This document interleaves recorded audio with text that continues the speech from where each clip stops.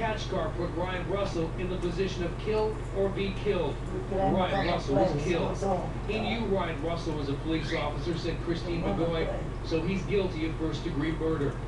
The prosecution answered to the defense theory that Kachkar was in a psychotic state at the time and therefore not criminally responsible by pointing out to the jury that you can suffer from a mental illness and still be responsible for criminal acts.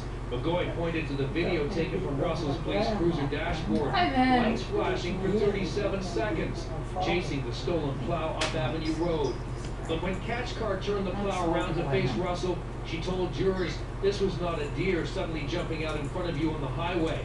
Kachkar drove towards the flashing lights, smashing into the police car, killing the police officer who was trying to arrest the driver.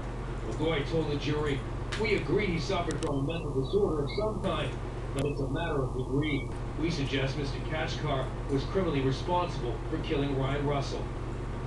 And the judge Fine. told the jurors that it is the defense's job to prove not criminally responsible, the Crown's job to prove murder beyond a reasonable doubt. We'll go to the jury on Monday. I'm Austin Delaney at the courthouse. Michelle?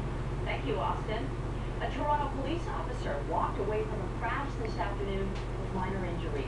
It happened on Kingston Road near Morningside. Two other cars were involved, though the cruiser had the most damage. Paramedics say the officer was conscious and alert, Move it, ma'am. complaining of some neck and back pain. No word on what caused the crash. A Toronto family buried a son last summer. He was shot and killed in that wild shooting at the Eaton Center in June. And now they'll have to bury another son. CTV's John Musselman is in the Carlton Journalism with more on Toronto's latest shooting. John? Uh, Ken, this is